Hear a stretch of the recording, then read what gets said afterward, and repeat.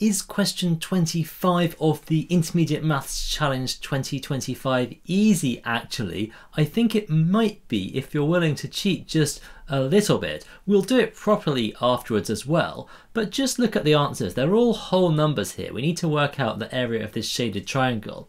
If we just called all of these side lengths A, B, C, D, E and F for now without worrying about how they're related and think about the areas of the triangles we'd have a half times a times e is 6 here so a times e would have to be 12 uh, here we'd have a half times d times f is 5 so d times f would be 10 and for the other one we'd have a half times b times c equals 6 so b times c equals 12 if we just took a bit of a gamble that with only whole number answers to the questions that all of these numbers might be whole numbers as well it would be worth 30 seconds of our time just to play around with it here and see if it works because in fact they've chosen it with quite easy numbers here if we make D and F 2 and 5, that makes that triangle work. Of course, we also need A plus B equals 5 for this to make sense so that the uh, sides of the, the rectangle have the same length.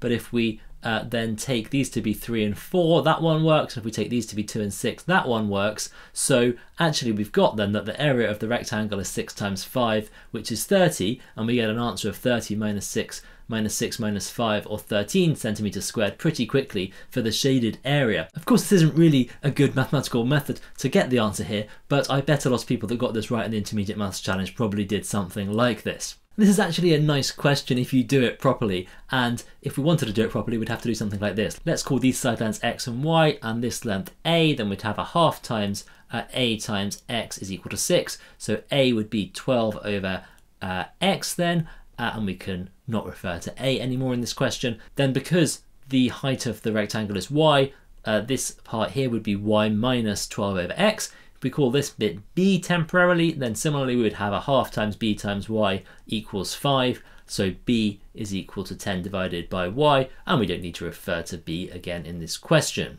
Then again, because x is the total width of the rectangle, this part here would be x minus 10 over y.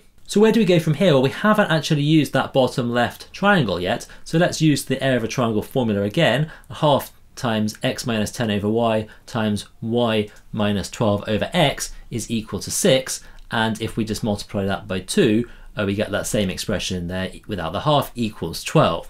And the really clever trick here is to say, let's look at uh, what we've got in these brackets. There's a y and an x in the denominator, but if I multiply that first bracket by y, we'd get xy minus 10. Of course, I would need to multiply the right-hand side of the equation by y as well for this to be valid. And if we do the same thing with the second bracket, we would uh, multiply it by x, so we would get x times y minus 12, and then of course we would multiply the right-hand side by x as well if you look what we've got here, we've only got x times y as the sort of algebraic bits of this equation. So let's just call that a. Why am I calling it a? Well, because x times y is actually the area of this rectangle, and it's what we need to work out to work out the shaded area as well. So it's a nice thing to substitute here. So we've got an equation, a minus 10 times a minus 12 equals 12a and this is a quadratic equation. I just need to multiply it out and do the usual sorts of things I do with a quadratic equation. So let's multiply it out a squared minus 10a minus 12a plus 120 is equal to 12a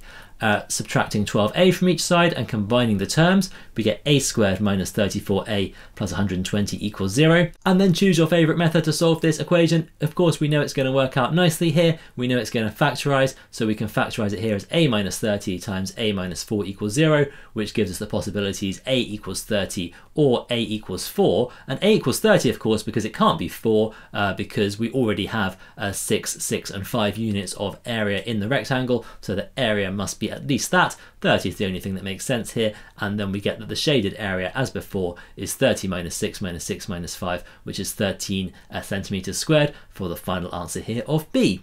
And if you're able to get question 25 of the Intermediate Maths Challenge right, you'll really enjoy having a go at some Olympiad problems. Here's another video that has one of those Olympiad questions that I think you'll really enjoy.